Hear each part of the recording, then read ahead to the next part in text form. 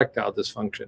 But a lot of men can save themselves an emergency stent, an emergency heart attack, if when that problem starts, they don't just get Viagra, they also get a full heart checkup. So, very important to be doing that.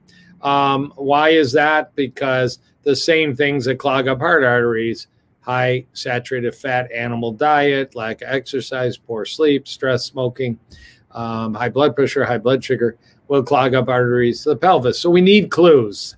It's called, if people haven't heard the term, some people call erectile dysfunction the canary in the coal mine.